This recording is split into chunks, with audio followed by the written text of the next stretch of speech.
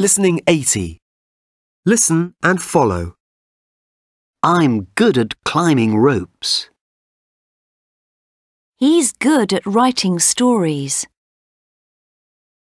She's good at telling jokes. They're good at tidying up. I'm not good at telling jokes. He isn't good at tidying up. She isn't good at writing stories.